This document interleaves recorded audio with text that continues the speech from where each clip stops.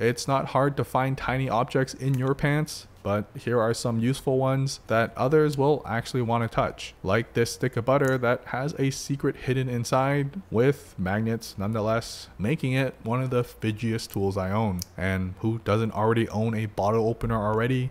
But when it looks as cute as this, it's just a conversation starter about how tiny your tools really are. Then it doesn't get any more minimal than this FOMO iPhone case, as you don't even feel it there, but offers protection exactly where you need it for when you do this. Thankfully,